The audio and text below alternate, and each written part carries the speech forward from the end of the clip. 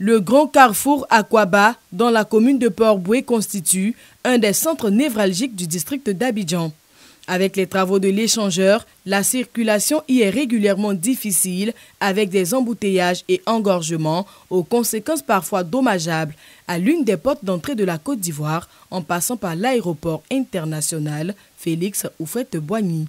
En cette période de Coupe d'Afrique des Nations, un plan de circulation a été établi pour faciliter l'accès à ce taxe stratégique. L'Inter-Africaine pour la promotion de la santé et des droits humains, ONG dirigée par Josiane Koudou, a mené la sensibilisation avec les responsables du site. Objectif permettre aux travailleurs de continuer leurs activités sur le chantier tout en favorisant une circulation aisée pour les usagers de la route. Avec les automobilistes, là, nous avons mobilisé une équipe de 5 rollers qui vont non seulement distribuer les dépliants qui expliquent en long et en large comment se déplacer sur ce carrefour et nous allons aussi les sensibiliser parce qu'on appelle une sensibilisation itinérante.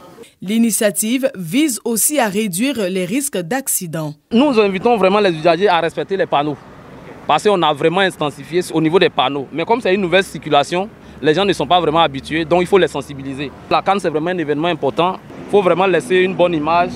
Cette campagne est la sixième du genre organisée par l'ONG interafricaine pour la promotion de la santé et des droits humains en vue d'exhorter les ouvriers à des comportements responsables.